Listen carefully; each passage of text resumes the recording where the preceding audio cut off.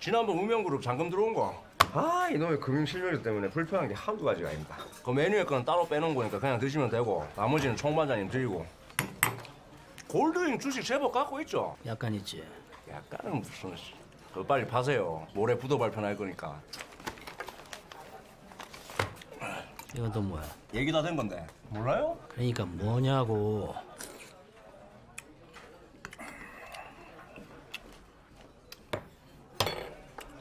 그 말투가 되게 거슬립니다.